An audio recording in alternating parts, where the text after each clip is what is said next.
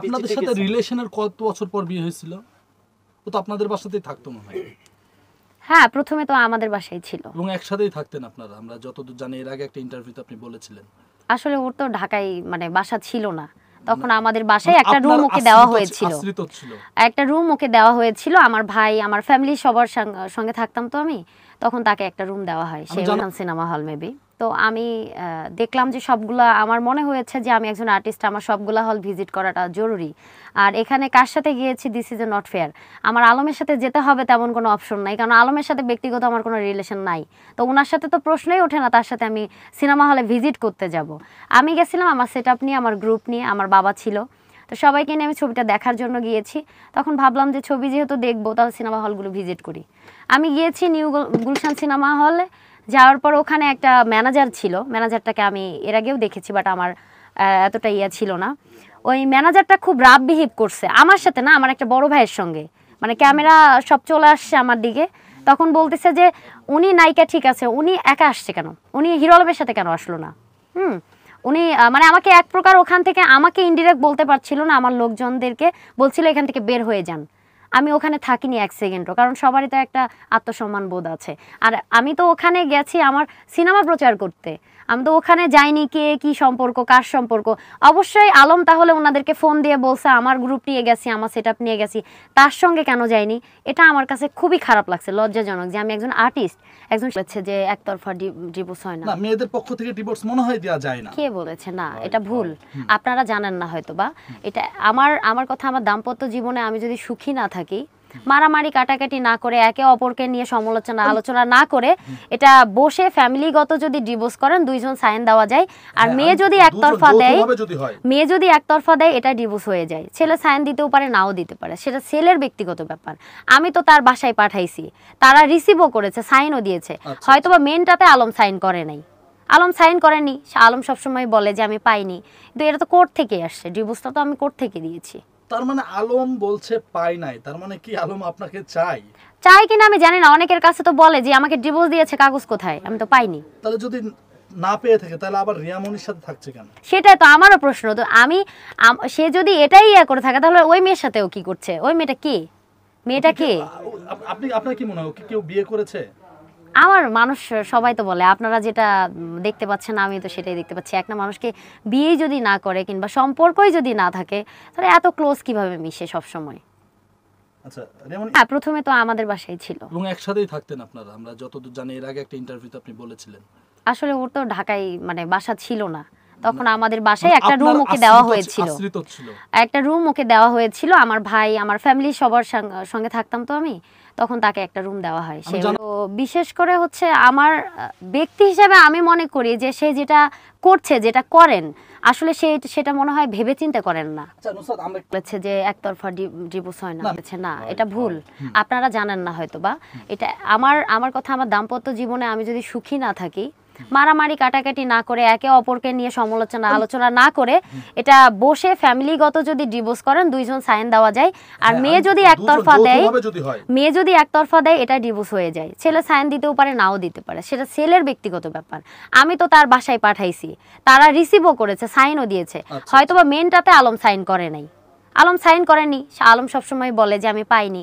কিন্তু এটা তো কোর্ট থেকে আসছে। ডিভোর্সটা তো আমি কোর্ট থেকে দিয়েছি।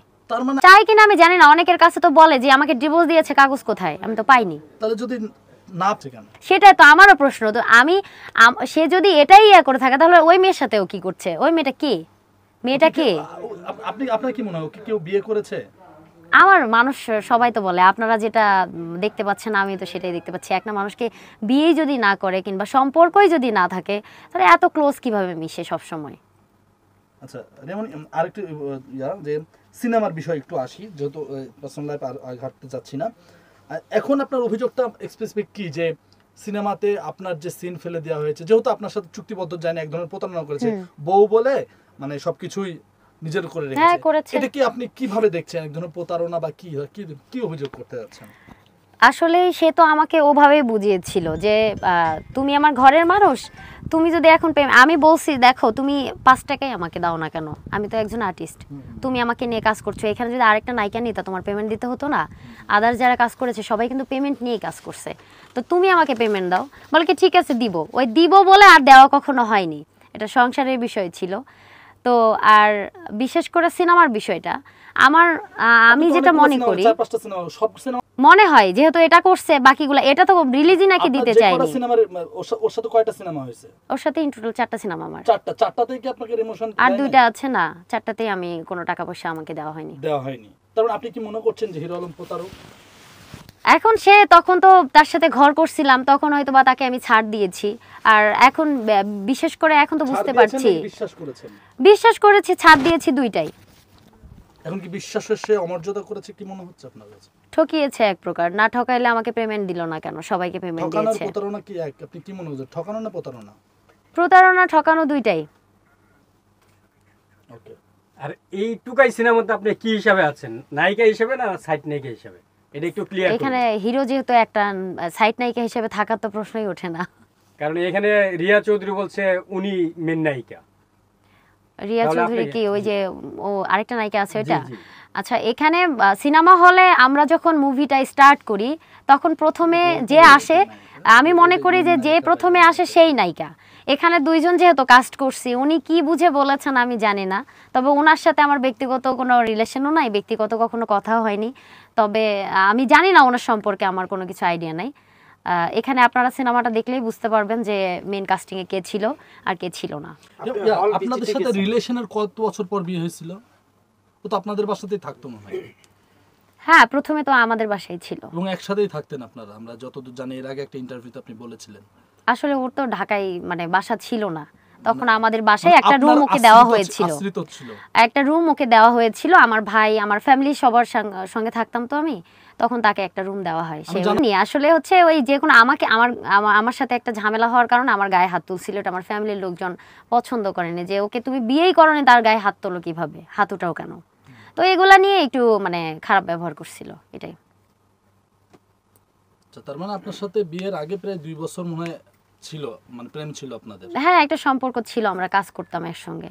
আচ্ছা এখনও যেভাবে রিয়ার সাথে কাজ হচ্ছে। ওকে ঠিক আছে। এক মিনিট। ও, আচ্ছা আচ্ছা আচ্ছা আপনাকে হল ভিজিটে গিয়েছিলেন সেখানে একটা হলে নাকি আপনাকে ঢুকতে দেয়নি? এরকম একটা অভিযোগ পাওয়া গেছে ও হ্যাঁ ভালো মানে কথা বলছেন। New Gulshan cinema hall maybe তো আমি দেখলাম যে সবগুলা, আমার মনে হয়েছে যে আমি একজন আর্টিস্ট আমার সবগুলা হল ভিজিট করাটা জরুরি। আর এখানে কার সাথে গিয়েছি this is a not fair আমার আলমের সাথে যেতে হবে তেমন কোনো অপশন নাই, কারণ আলমের সাথে ব্যক্তিগত আমার কোনো রিলেশন নাই। তো ওনার সাথে তো প্রশ্নই ওঠে না, তার সাথে আমি সিনেমা হলে ভিজিট করতে যাব।